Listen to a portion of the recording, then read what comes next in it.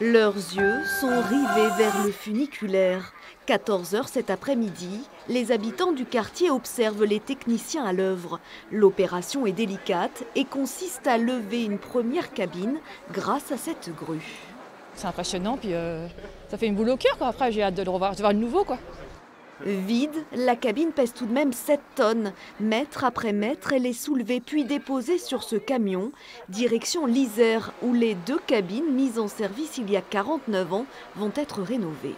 Les carrosseries euh, étaient euh, dans de nombreux points rouillées, euh, l'étanchéité n'était plus très bonne, les portes, qui sont des éléments importants, mais également à l'équipement intérieur, l'éclairage, les sièges, tout le design intérieur va être revu.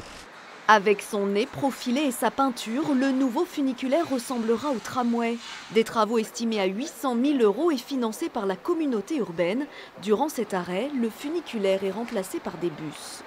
Le cadencement, c'est donc toutes les demi-heures hein, au point de départ en haut et en bas. Et en termes de tarifs, on applique le même tarif que le funiculaire, c'est-à-dire 50 centimes le trajet. Demain, c'est au tour de la deuxième cabine de quitter le Havre avant de revenir toute neuve cet été.